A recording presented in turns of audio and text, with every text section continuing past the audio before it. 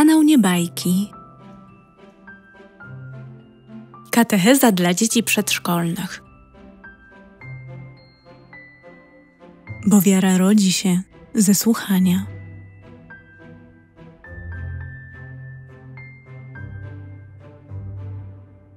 Odcinek drugi. Znak krzyża. Drogie dzieci, kiedy ktoś chce modlić się do Pana Boga, czy wiecie, co robi na samym początku? Zaczyna od znaku krzyża. Popatrzcie na obrazki, na których Natalia robi znak krzyża.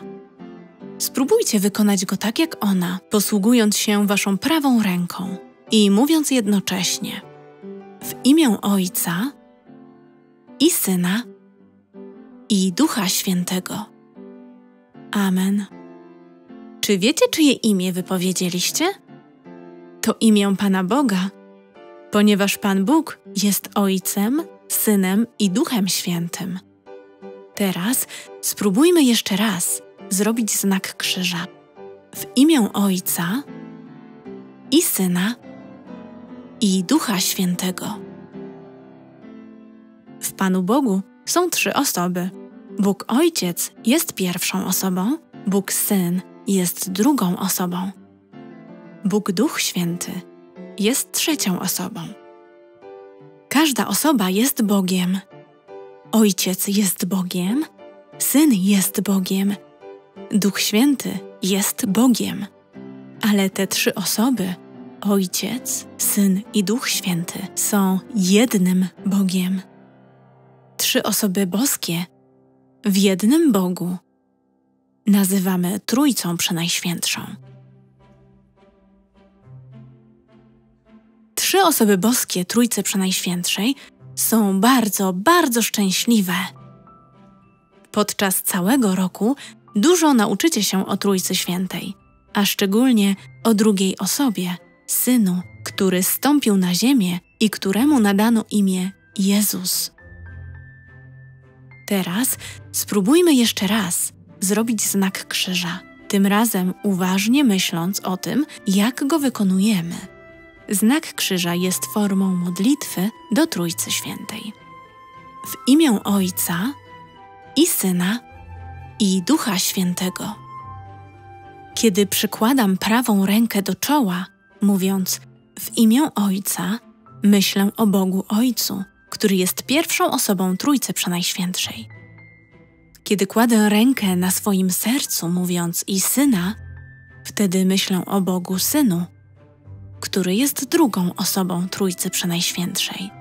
Kiedy zaś przykładam rękę najpierw do ramienia lewego, a później do prawego, mówiąc i Ducha Świętego, wtedy myślę o Bogu Duchu Świętym, który jest trzecią osobą Trójcy Przenajświętszej. Kiedy robię znak krzyża, pokazuję w ten sposób Panu Bogu, że Go kocham. Dlatego muszę wykonywać go powoli, myśląc o nim samym. Pan Bóg widzi mnie i słyszy. Sprawiam radość Panu Bogu, robiąc znak krzyża świadomie, myśląc o tym, co mówię. Czy znacie już świętego Benedykta?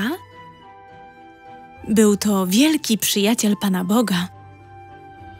Pewnego dnia człowiek, który go nienawidził, włożył mu do szklanki truciznę, pragnąc jego śmierci.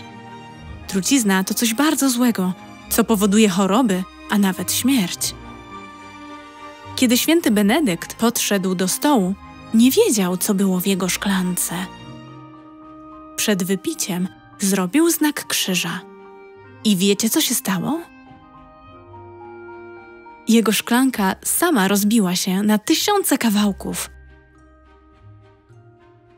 Znak krzyża uchronił świętego Benedykta od wypicia trucizny.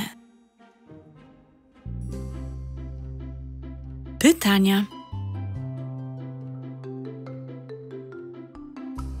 Ilu jest bogów? Jest jeden Bóg. Ile jest osób w Panu Bogu? W Panu Bogu są trzy osoby: Ojciec, Syn i Duch Święty. Jak nazywają się trzy osoby w jednym Bogu? Trzy osoby w jednym Bogu nazywamy Trójcą Przenajświętszą.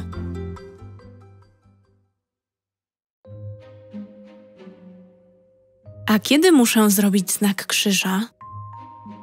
Rano, kiedy się budzę, aby powiedzieć Panu Bogu dzień dobry. Przed jedzeniem, po jedzeniu, aby podziękować Panu Bogu za Jego dobroć. Znak krzyża robię również, aby odgonić złą myśl albo pragnienie zrobienia czegoś złego. Pytania do katechezy drugiej.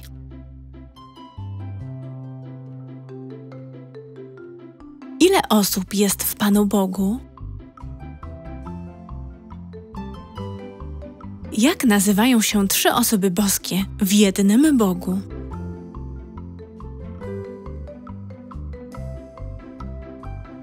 Kto jest pierwszą osobą?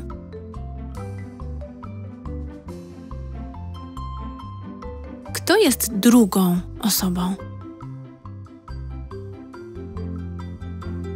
A kto jest trzecią osobą? Czy ojciec jest Bogiem? Czy syn jest Bogiem? A duch święty jest Bogiem? Ilu jest Bogów? Jaką modlitwą możecie modlić się do Trójcy Przenajświętszej? Kiedy powinniście robić znak krzyża?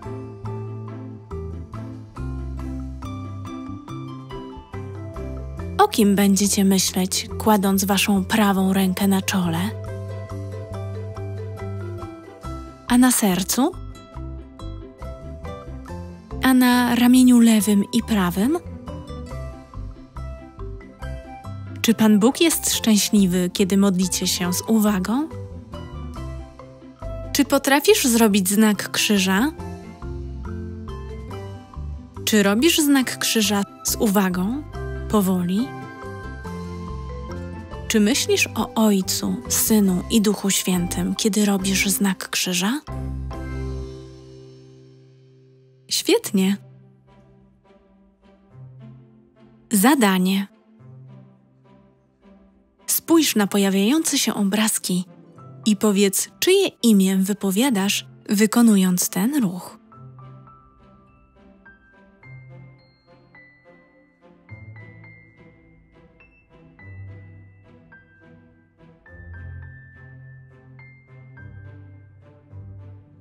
Świetnie.